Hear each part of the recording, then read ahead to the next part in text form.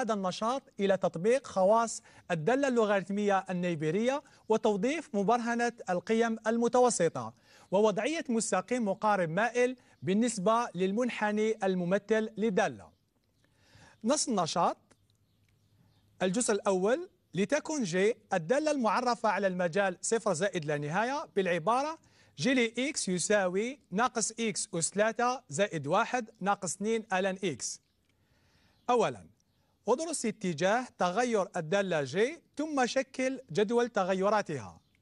ثانيا أحسب جي لي واحد ثم استنتج إشارة g لي x حسب قيم x الجزء الثاني لتكن f الدالة المعرفة على المجال صفر زائد لا نهاية بالعبارة.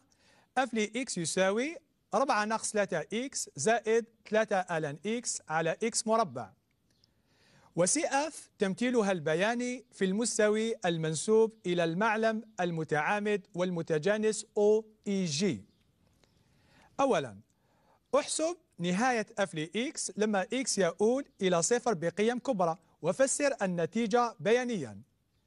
ثانيا احسب نهاية ل x لما x يؤول إلى زائد لا نهاية ثم بين أن المستقيم دلتا الذي معادلته y يساوي 4 ناقص x مقارب ل CF أدرس وضعية CF بالنسبة للمستقيم دلتا.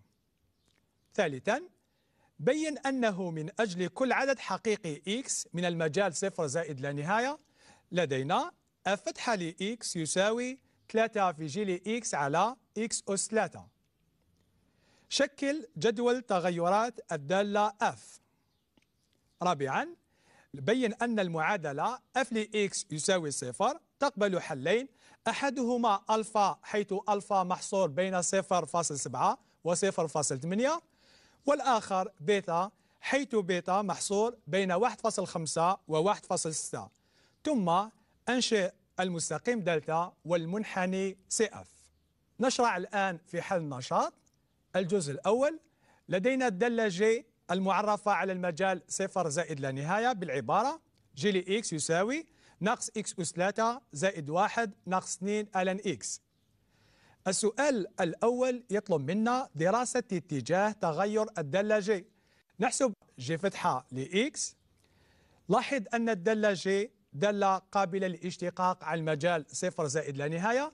لأنها مجموع لدالتين قابلتين للاشتقاق على المجال صفر زائد لا نهاية حيث جي فتحة لإكس يساوي ناقص 3 إكس مربع ناقص 2 على إكس وبتوحيد المقام نجد ناقص 3 إكس أس 3 ناقص 2 على إكس وبأخذ ناقص 1 كعامل مشترك نجد ناقص 3x أس 3 زائد 2 على x لدينا من أجل كل x من المجال صفر زائد لا نهاية 3x أس 3 زائد 2 أكبر تماما من الصفر.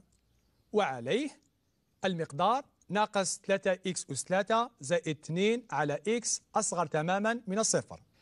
أي من أجل كل x من المجال صفر زائد لا نهاية أفتح ل x سالب تماما. إذا الدالة J متناقصة تماما على المجال صفر زائد لا نهاية. وبالتالي يكون اتجاه تغيرات الدالة J كما هو موضح في الشاشة. الدالة J متناقصة تماما على المجال صفر زائد لا نهاية. السؤال الثاني يطلب منا حساب صورة واحد بالدالة J واستنتاج إشارة جي لي إكس. لدينا جي لي واحد يساوي ناقص واحد أس ثلاثة زائد واحد ناقص اثنين ln واحد. نعلم أن ln واحد يساوي صفر. إذا جي لي واحد يساوي ناقص واحد زائد واحد يساوي صفر. لاحظ عزيزي الطالب أن الدالة جي تنعدم عند الواحد ومتناقصة تماما على المجال صفر زائد لا نهاية. إذا الدالة جي موجبة من أجل إكس في المجال صفر واحد وسالبة من أجل إكس أكبر من الواحد وتنعدم عند الواحد إذا إشارة جي لإكس كما هو موضح في الشاشة. الجزء الثاني لتكن الدالة أف الدالة المعرفة على صفر زائد لا نهاية بالعبارة. أف ل x يساوي 4 ناقص 3 x زائد 3 ln x على x مربع. السؤال الأول يطلب منا حساب نهاية اف لإكس لما إكس يؤول إلى صفر بقيم كبرى وتفسير النتيجة بيانيا. لدينا نهاية 4 ناقص 3 إكس لما إكس يؤول صفر بقيم كبرى يساوي 4 ونهاية 3 ln إكس على إكس مربع لما إكس يؤول صفر بقيم كبرى يساوي ناقص لا نهاية لأن نهاية ln إكس لما إكس يؤول صفر بقيم كبرى يساوي ناقص لا نهاية ونهاية إكس مربع لما إكس يؤول صفر بقيم كبرى يساوي صفر. ومنه نهاية اف لإكس لما إكس يؤول صفر بقيم كبرى يساوي ناقص لا نهاية.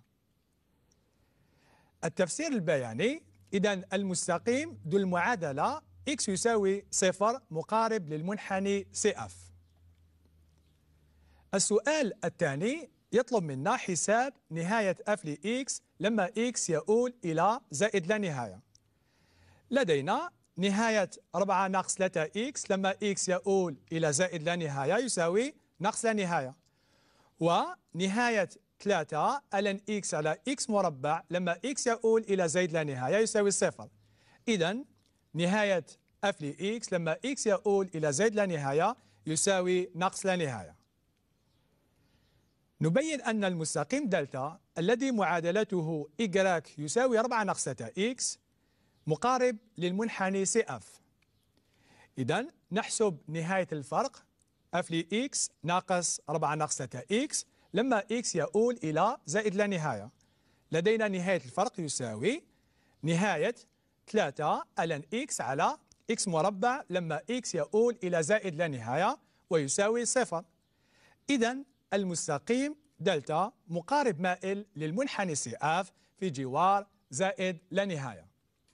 وضعية سي اف بالنسبة للمستقيم دلتا.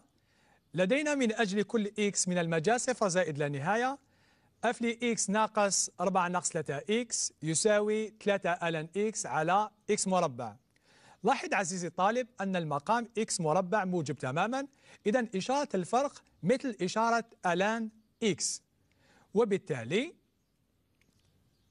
إكس يساوي واحد. المستقيم دلتا يقطع المنحني سي اف من أجل إكس محصور بين صفر وواحد المنحني سي اف تحت المستقيم دلتا ومن أجل إكس أكبر تماما من واحد المنحني سي اف فوق المستقيم دلتا. السؤال الثالث ويطلب منا أن نبين أنه من أجل كل عدد حقيقي إكس من المجال صفر زائد لا نهاية اف فتحة لإكس يساوي 3 في جي لإكس على إكس أس 3 نذكر بعبارتي اف وجي كما هو موضح أمامكم. لدينا الدالة اف معرفة وقابلة للاشتقاق على المجال صفر زائد لا نهاية حيث فتحة لإكس يساوي.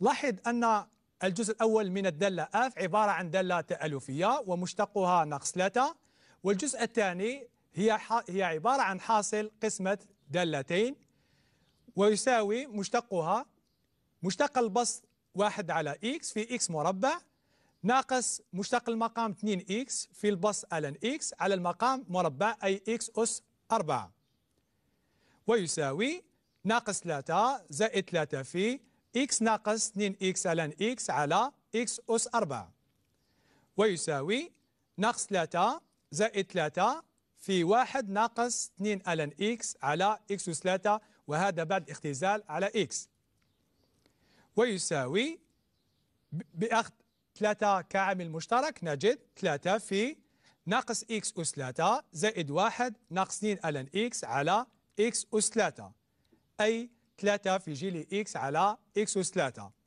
ومنه إشارة F فتحة لإكس مثل إشارة جي لإكس والتي تطرقنا إليها في الجزء الأول. السؤال الموالي جدول تغيرات الدالة F يكون كالتالي إذا F فتحة لإكس تنعدم عند الواحد سالبة في المجال واحد زائد لا نهاية وموجبة في المجال صفر واحد. إذا الدالة F متزايدة تماما في المجال الأول ومتناقصة تماما في المجال الثاني. ولدينا F لواحد يساوي 4 ناقص 3 في واحد زائد 3 ألن واحد على واحد مربع. لدينا ألن واحد يساوي صفر. إذا F واحد يساوي 4 ناقص 3 ويساوي واحد. السؤال الرابع ويطلب منا أن نبين أن المعادلة f لx يساوي صفر تقبل حلين.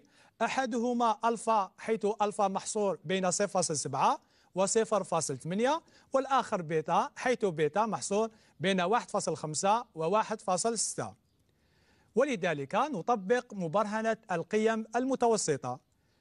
لدينا الدالة F مستمرة على المجال 0.7 0.8 ولدينا جيلي 0.7 يساوي بالتقريب ناقص 0.28 وجيلي 0.8 يساوي بالتقريب 0.55 أي جيلي 0.7 وجيلي 0.8 من إشارتين مختلفتين.